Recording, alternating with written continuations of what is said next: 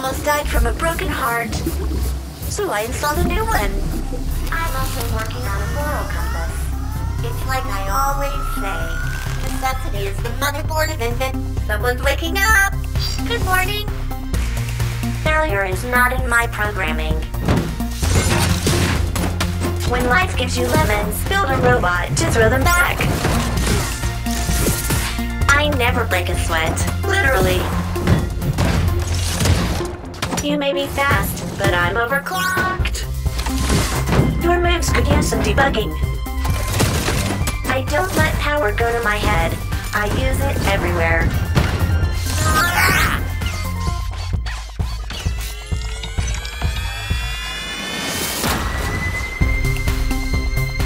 All I need is a wrench and a plan and a power source.